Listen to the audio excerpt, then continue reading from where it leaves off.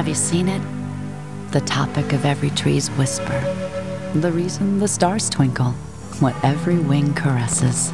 Look for it and you will fail to see it, even as it surrounds you. It's in our first breath, our last, and every breath in between. It is precious, this invisible thing called air, which is why we try, in little ways, to protect it. It's just something to think about the next time you need fuel.